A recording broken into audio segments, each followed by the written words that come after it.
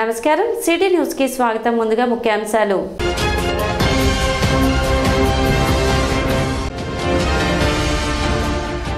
తెనాలి వ్యవసాయ market yard చైర్పర్సన్గా పదవి బాధ్యతలు చేపట్టిన అవుతు సీత.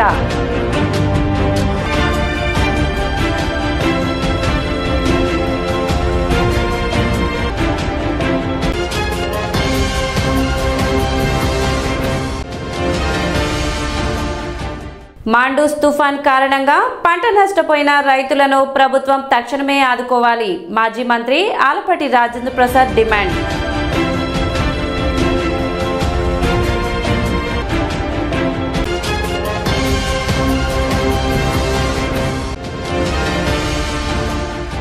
క్లీన్ ఆంధ్రప్రదేశ్ కార్యక్రమంలో పుర ప్రజలు భాగస్వామ్యులు కావాలి. Municipal chairperson Syed Khalida Naseem.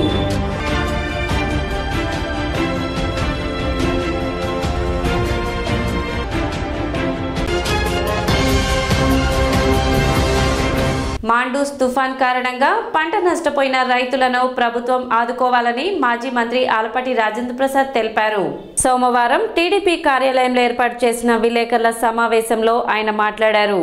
Mandous తుఫాన్ కారణంగా రైతులు రెండవ పంటకు సంబంధించి తీవ్రంగా నష్టపోయారని ఇటువంటి పరిస్థితులు వచ్చినప్పుడు ప్రభుత్వాలు పెద్ద ఎత్తున సబ్సిడీలు ఇచ్చి వారిని ఆదుకోవడం జరిగిందని చెప్పారు.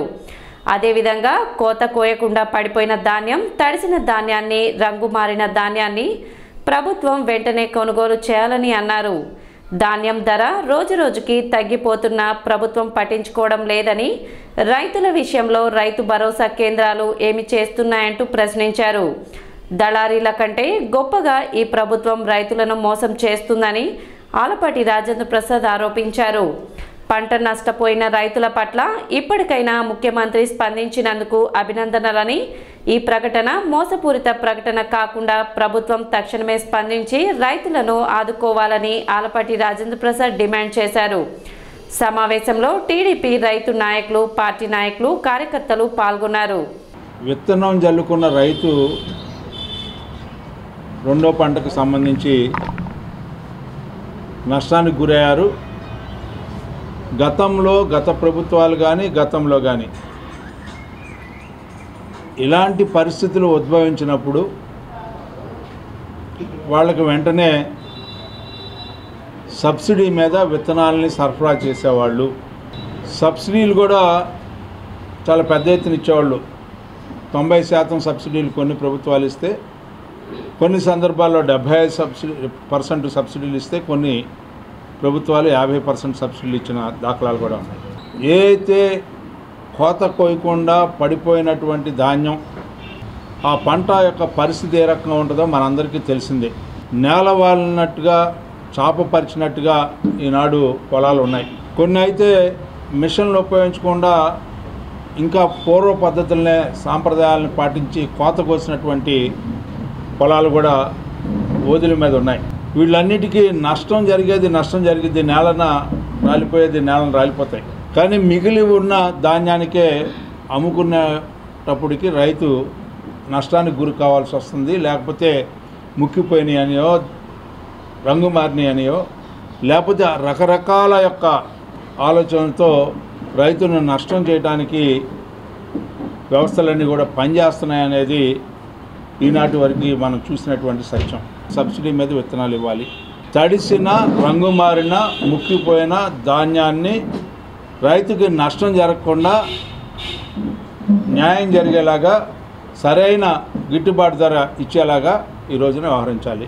రైతుకు జరిగిన నష్టాన్ని నివారించే విషయంలో అంచనా వేసే విషయంలో కానీ లేకపోతే సహాయం చేసే విషయంలో కానీ లేకపోతే విత్తనాలను సబ్సిడీ ఇచ్చే విషయంలో కానీ సకాలంలో స్పందించాలి ఈ ప్రభుత్వం అని చెప్పి డిమాండ్ చేస్తూ ఉంది తెలుగుదేశం పార్టీ. మున్సిపల్ కార్యాలయంలో ప్రతి సోమవారం జరిగే స్పందన కార్యక్రమాన్ని పుర ప్రజలు వినియోగించుకోవాలని మున్సిపల్ కమిషనర్ జస్వంతరావు తెలిపారు. ప్రజా సమస్యల సత్వర పరిష్కారానికి ప్రభుత్వం ప్రతి సోమవారం ప్రభుత్వ కార్యాలయంలో స్పందన కార్యక్రమం నిర్వహించడం జరుగుతుందని ఈ సందర్భంగా పురపాలక సంఘ కార్యాలయంలో జరిగే స్పందన కార్యక్రమంలో ప్రజలకు ఏమైనా సమస్యలు ఉంటే అర్జీల రూపంలో తెలియపరిచి వాటిని పరిష్కరించుకోవాలని కమిషనర్ జస్వంతరావు తెలిపారు.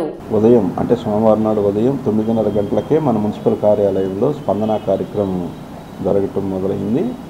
కలెక్టర్ గారు కూడా ప్రతి సోమవారం నాడు తొమ్మిది గంటలకే మరి జిల్లా ఆఫీసర్స్తో అలాగే మండల ఆఫీసర్స్తో కూడా కోఆర్డినేషన్ మీటింగ్లో లాగా ఏమైనా సమస్యలు ఉంటే ముందు ఫీడ్బ్యాక్ తీసుకుని ఎక్కడ సమస్యలు అక్కడ పరిష్కారం చేస్తూ ఉన్నారు.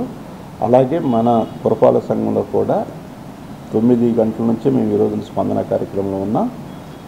ఉదయం ఒక రిప్రజెంటేషన్ రావటం జరిగింది. అది గతంలో రెండు వేల పదహారు సంవత్సరంలో టైటిల్ ట్రాన్స్ఫర్ వాళ్ళు చేశారు. ఒకసారి డాక్యుమెంట్స్ వెరిఫై చేసి మాకు చేయాలనేది రిప్రజెంటేషన్ రావటం జరిగింది. అవి ఒకసారి పరిశీలించి ఎట్లయితే చట్ట ప్రకారం ఏమైతే ఉంటుందో దాని ప్రకారం చూసి వాళ్ళకి న్యాయం చేయడానికి శకపురుషిని శత జయంతి మహోత్సవాల సందర్భంగా మాజీ మంత్రి ఆలపాటి రాజేంద్ర ప్రసాద్ ఆధ్వర్యంలో పెమసాని థియేటర్లో సంవత్సరం పాటు ప్రదర్శిస్తున్న ఉచిత సినిమా ప్రదర్శనలో భాగంగా నేడు పల్లెటూరు చిన్నాడు చిత్రం ప్రదర్శింపబడింది.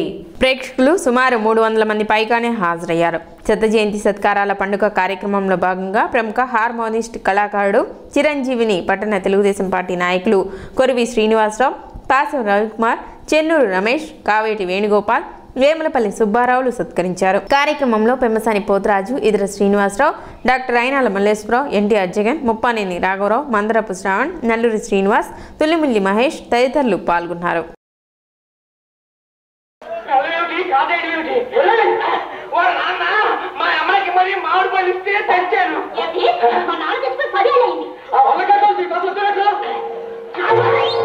Yeah.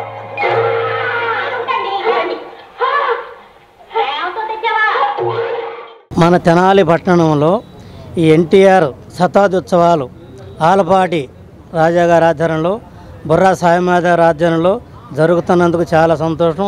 మాలాంటి ఎంతోమంది కళాకారుని అన్ని రంగాల కళాకారుని ఇలా సత్కరించి వాళ్ళ యొక్క ఆనందాన్ని ఈ పట్టణ రంగస్థల కళాకారులతో తరపు అందరూ చేస్తున్నందుకు చాలా సంతోషం విశ్వవిఖ్యాత నందమూరి నటరత్న డాక్టర్ పద్మశ్రీ డాక్టర్ నందమూరి తారక రామారావు గారి శతదించి ఉత్సవాలు ఈరోజు తెనాలి పట్టణంలో ఒక సంవత్సరం కాలం పాటు ఆలపాటి రాజేంద్ర ప్రసాద్ గారి ఆధ్వర్యంలో మరియు తెలుగుదేశం పార్టీ కార్యకర్తల సహకారంతో బుర్రా సాయి మాధవ్ గారి సహకారంతో పెమ్మసాని థియేటర్ యాజమాన్యం సహకారంతో శతదించి ఉత్సవాలు ఇంత ఘనంగా జరుపుకోవడం మన తెనాలి పట్టణంకే గర్వకారణం. అట్లాగే అన్న నందమూరి తారక రామారావు గారి శతదించి ఉత్సవాలు ఈరోజు ఆలపాటి రాజేంద్ర ప్రసాద్ గారు ప్రపంచ స్థాయిలోకి తీసుకెళ్ళారు. అందుకు మేమందరం మేము కూడా అందులో భాగస్వాములైనందుకు ధన్యవాదాలు తెలుపుకుంటూ సెలవు పదమూడవ తేదీ మంగళవారం తెనాలి వ్యవసాయ మార్కెట్ యార్డ్ నూతన కమిటీ తొలి సమావేశం నిర్వహిస్తున్నట్లు కమిటీ అధ్యక్షురాలు అవుతు సీత తెలిపారు. నూతన కమిటీ అధ్యక్షురాలుగా ప్రమాణ స్వీకారం చేసిన ఆమె సోమవారం ఎమ్మెల్యే అన్నాబత్రి శివకుమార్ సమక్షంలో బాధ్యతలు స్వీకరించారు. ఈ సందర్భంగా ఆమెకు ఎమ్మెల్యే అన్నాబత్రి శివకుమార్తో పాటు యార్డు సిబ్బంది మరియు కార్యవర్గ సభ్యులు ఆమెకు అభినందనలు తెలిపారు. నూతన కమిటీ అధ్యక్షురాలుగా బాధ్యతలు స్వీకరించిన సందర్భంగా మంగళవారం కమిటీ సమావేశం నిర్వహించడం జరుగుతుందని ఆమె తెలిపారు.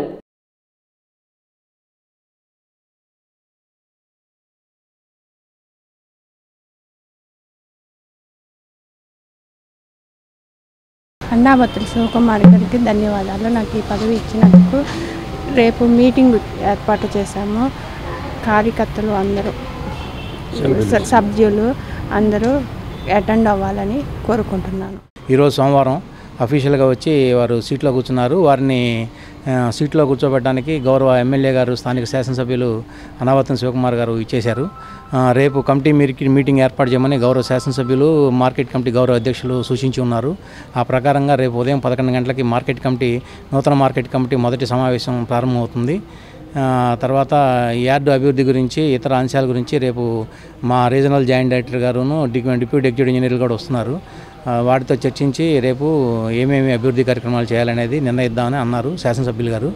కాబట్టి తెలియపరచడం. పట్టణ పరిశుభ్రతను పారిశుద్ధ్యాన్ని పాటించడం ప్రధానాంశంగా గుర్తించి క్లీన్ ఆంధ్రప్రదేశ్ కార్యక్రమాన్ని ఉద్యమ రూపంలో ప్రజలు చేపట్టాలని మున్సిపల్ చైర్పర్సన్ సైద్ ఖాళీద్ నసీం తెలిపారు. క్లాప్ ప్రోగ్రాంలో భాగంగా ఐఈసీ యాక్టివిటీస్ను తెనాలి పట్టణంలో పన్నెండవ తారీఖు నుండి పద్దెనిమిదవ తారీఖు వరకు నిర్వహిస్తున్నందున ఈరోజు ఎనిమిదవ వార్డులో జరిగిన అవగాహన కార్యక్రమంలో క్లాప్ యొక్క విశిష్టతను ఉపయోగాలను ఆమె ప్రజలకు వివరించారు.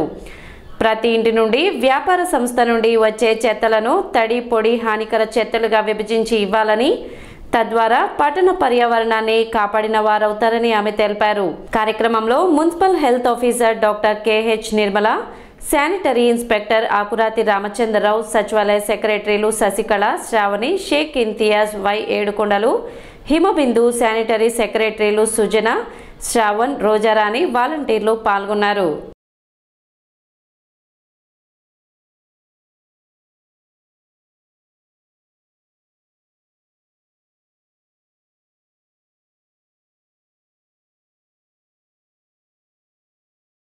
మూడు డస్ట్బిన్లు పంచే విధానాన్ని ఎలాగైతే స్ట్రిక్ట్గా అమలు చేస్తున్నామో లేదో మరొకసారి మేము చూసుకొని తెనాలిని పరిశుభ్రంగా బిన్ ఫ్రీ డస్ట్ ఫ్రీ మరియు లిటర్ ఫ్రీ తెనాలిగా రూపొందించడానికి మా మీ అందరి సకారం కోరుకుంటా. తెనాలిలో ఈరోజు మేము ప్రతి ఇంటికి వెళ్ళి ప్రతి చోట ఈ కార్యక్రమాన్ని ముందుకు తీసుకెళ్ళటానికి ఈ ఈరోజు ఈ కార్యక్రమం నిర్వహించబడుతుంది.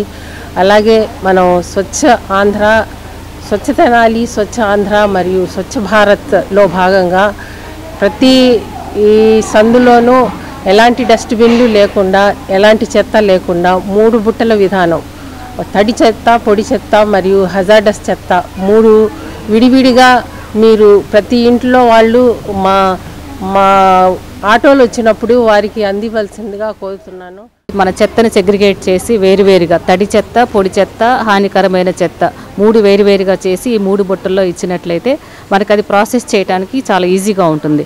నేషనల్ గ్రీన్ ట్రిబ్యునల్ రూల్స్ ప్రకారము ప్రతి పురపాలక సంఘంలో కూడాను ఏ రోజు జనరేట్ అయిన చెత్త అదే రోజున ప్రాసెస్ అయ్యే విధంగా గవర్నమెంట్ చర్యలు చేపట్టింది. కాబట్టి అదే రోజున మనం ప్రాసెస్ చేయాలి అంటే మీరు సెగ్రిగేషన్ అంటే ఇంటి దగ్గర వేరువేరుగా చెత్తను పెట్టినట్టయితే మన పురపాలక మేనేజ్మెంట్కి దానిని సెగ్రిగేట్ చేసిన వేస్ట్ని ప్రాసెస్ చేయడానికి ఈజీగా ఉంటుంది. మన బురిపాలెం రోడ్లో ఉన్న డంపింగ్ యార్డ్లో చూసినట్లయితే ఈ సెగ్రిగేట్ చేసిన చెత్తని కొంత మనం ఇండ్రో కంపోస్టింగ్ గాను వర్మీ కంపోస్టింగ్ గాను మనము చే చేసి కంపోస్ట్ తయారు చేస్తున్నాము. అట్లనే కోకోనట్ షెల్స్ నుంచి కొబ్బరి పీచుని తీస్తున్నాము. National Green Tribunal NGT guidelines ప్రకారం ప్రతి పట్టణంలో కూడా తడి పొడి హానికర ఈ మూడు రకాల చెత్తల్ని ప్రజల నుంచి తీసుకుని డిస్పోజ్ చేయాలి. అందువలన మన పురపాలక సంఘంలో కూడా మూడు ప్రతి ఇంటికి మూడు బిన్స్ ఇచ్చాం. ఆ మూడు బిన్స్ ఉపయోగిస్తున్నారా లేదా అని తెలుసుకోవడం కొరకు ఈరోజు పురపాలక సంఘం వారి ఆధ్వర్యంలో ఎనిమిదో వార్డులో అవగాహన కార్యక్రమం పెట్టాం. ఈ కార్యక్రమాలు ఈ రోజు నుంచి పద్దెనిమిదో తారీఖు దాకా ఉంటాయి. ప్రజలంతా గమనించుకోండి పాత పద్ధతులన్నీ మానేసి ఇప్పుడు కొత్తగా వచ్చే పద్ధతులను మనం ఇంప్లిమెంట్ కనుక చేసుకుంటే మన వాతావరణం బాగుంటుంది చుట్టుప్రక్కల కూడా బాగుంటుంది. పేదోడి కడుపు నింపే అన్నా క్యాంటీన్ నిర్వహణకు ఎలాంటి ఆటంకం కలగకుండా దాతలు స్వచ్ఛందంగా ముందుకు రావడం అభినందనీయమని పలువురు వక్తలు పేర్కొన్నారు. మాజీ మంత్రి ఆలపాటి రాజేంద్ర ప్రసాద్ ఆధ్వర్యంలో నిర్వహిస్తున్న అన్నా క్యాంటీన్ల వద్ద అన్నదానం నిర్వహించారు. ఈ సందర్భంగా స్థానిక మార్కెట్ సెంటర్ వద్ద గల అన్నా క్యాంటీన్ నందు చందు హనుమంత్ కుమార్ జన్మదినోత్సవం సందర్భంగా అన్నదాన కార్యక్రమం నిర్వహించారు. సమాజమే దేవాలయం ప్రజలే దేవుళ్ళు అనే నాణ్యుడితో అన్న ఎన్టీఆర్ స్ఫూర్తితో కొనసాగుతున్న ఈ తెలుగుదేశం కార్యక్రమం ఆలపాటి రాజేంద్ర ప్రసాద్ గారి సారథ్యంలో జరుగుతున్నాయి అన్నా క్యాంటీన్ నూట ఇరవై మూడో రోజు చందు హేమంత్ కుమార్ గారి జన్మదినం సందర్భంగా వీరందరికీ అన్నదానం చేయించడం జరుగుతుంది ఇంతవరకు సహకరించిన దాతలందరికీ మా తెలుగుదేశం కుటుంబ సభ్యుల తరఫున మా ప్రీతమ నేత ఆలపాటి రాజేంద్ర ప్రసాద్ గారి తరఫున ధన్యవాదాలు. అదేవిధంగా స్థానిక శివాజీ చౌక్ వద్ద శ్రీదేవి మొదటి వర్ధంతి సందర్భంగా అన్నదాన కార్యక్రమం నిర్వహించారు మేము మా- మా అక్కగారైన కోగంటి శ్రీదేవి గారి వర్ధంతి సందర్భంగా ఇవాళ అన్నదాన కార్యక్రమం పెట్టాము. కోగంటి కిషోర్ గారు దాన్ని సహకరించి వాళ్ళ పిల్లలు కోవంటి వంశీకృష్ణ కోవంటి వెంకటకృష్ణ ఇద్దరు కలిసి వాళ్ళు డొనేట్ చేశారు. ఆ కార్యక్రమానికి మేము వాళ్ళు సహాయ సహకారాలు అందించినందుకు మేమెంతో ఆనందిస్తున్నాం. తెలుగుదేశం పార్టీ తరఫున మాకు కృతజ్ఞతలు సబ్ కలెక్టర్ కార్యాలయంలో జరిగిన స్పందన కార్యక్రమంలో నాలుగు అర్జీలు వచ్చాయి. సబ్ కలెక్టర్ గీతాంజలి శర్మ అర్జీదారుల నుండి అర్జీలను స్వీకరించారు. భూ సమస్యలపై రెండు ఆక్రమణలకు సంబంధించి ఒకటి నీటి కుళాయికి సంబంధించి మరొకటి మొత్తం నాలుగు అర్జీలు వచ్చాయి. వచ్చిన వాటిని సంబంధిత అధికారులకు పంపి పరిష్కరించడం జరుగుతుందని అధికారులు తెలిపారు. మనకి ఈరోజు ముఖ్యంగా నాలుగు మెయిన్ గ్రీవెన్సెస్ అనేది రావడం జరిగింది. ఈ నాలుగిట్లో కూడా రెండుకి సంబంధించి ల్యాండ్ రిలేటెడ్ ఇష్యూస్ ఇంకొకటి ఎంక్రోచ్మెంటు నాలుగోది వచ్చేసి మంచినీళ్ళ కుళాయి కనెక్షన్ని ఏర్పాటు చేయమని చెప్పేసి అంటే దానికి బిల్లు కట్టమని డిమాండ్ నోటీస్ ఇచ్చారని చెప్పేసి ఈ విధంగా నాలుగు సంబంధ నాలుగుకి సంబంధించిన గ్రీవియన్స్ని కూడా అది మున్సిపాలిటీ ఇదైతే వాటర్ సప్లైకి సంబంధించి కమిషనర్ గారికి అట్లాగనే ల్యాండ్ మ్యాటర్కి సంబంధించిన ఈ మూడు కూడా కన్సర్న్ తహసీల్దార్కి ఫార్వర్డ్ చేసి ఇమీడియట్గా వాటి మీద యాక్షన్ తీసుకోమని తెలియజేస్తాము. సిటీ న్యూస్ ముగించే ముందు ముఖ్యాంశాలు మరోసారి.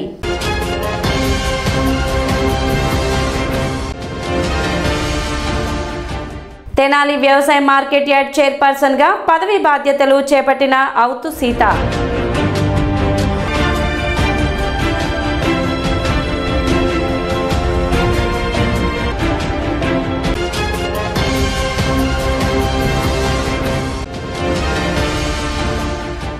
మాండూస్ తుఫాన్ కారణంగా పంట నష్టపోయిన రైతులను ప్రభుత్వం తక్షణమే ఆదుకోవాలి. మాజీ మంత్రి Alapati Rajendra Prasad demand.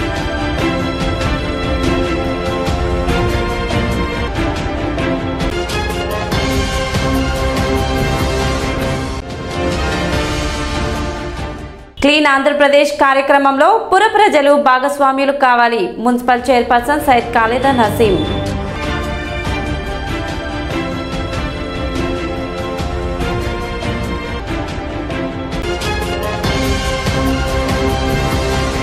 City news ఇంతటితో సమాప్తం. నమస్కారం.